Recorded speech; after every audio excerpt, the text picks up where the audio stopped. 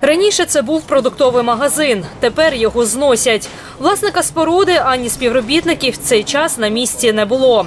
За законом власник мав 10 днів, щоб знести споруду самостійно. В контакт-центрі появилась інформація. В контакт-центрі з'явилася інформація відносно цього об'єкту. Нами була ця інформація оперативно опрацьована і подали відповідні документи на комісію, котра приймає рішення відносно законності або незаконності тих чи інших споруд. І за підсумками комісія прийняла рішення про демонтаж цієї споруди. Ось, власне, ми приїхали демонтувати. Те, що досліджувалось нами, ну в конкретному випадку, ми розглядаємо тільки цей об'єкт. Щодо інших, я поки що сказати нічого не можу. Інформації, на жаль, дуже небагато.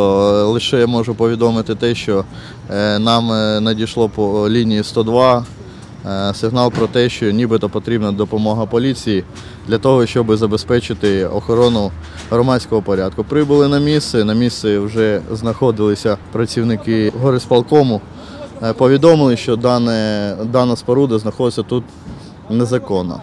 Ніяких порушень громадського порядку не було. Думки місцевих жителів розділились. Є ті, хто проти знесення торгової точки, і ті, хто підтримує. Не за, потому что мы рядышком живем. Живем, Тут рядом, нам нам надо, удобно. да, нам Чтобы удобно. не ездить на базары никуда. Да, мы старые люди. Поэтому Да, мы поэтому тут скупляемся больше никуда. і щоб було дешевле. Все дешевле Всё, было. да. Зато мы пенсионеры, нам подешевле. Проти. Проти, тому що якийсь безлад проходить, місце займає. Раптом комусь проїхати потрібно, а не виходить. І пройти так само. Коли стоїть черга до кіоску, вже не пройдеш. Співробітники управління протидії корупції говорять, якщо встигнуть, демонтують ще кілька незаконних споруд в Миколаєві. Адресу не говорять. Євгенія Голубова, Ігор Чорний, телевізійні новини Миколаївщини.